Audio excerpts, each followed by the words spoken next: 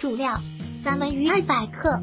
辅料：番茄一百克、番茄酱、姜片、盐、胡椒粉、白糖、橄榄油。制作时间：十分钟内。三文鱼去鱼鳞，擦干水分，涂上薄薄一点盐与胡椒粉，腌约一小时以上。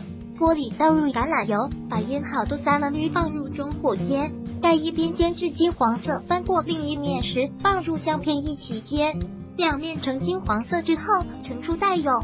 继续使用原来的油锅，把切好的番茄倒入翻炒，然后倒入茄汁，加入白糖、胡椒粉、鸡精、盐，汁变稠后，熄火淋到三文鱼上即可食用。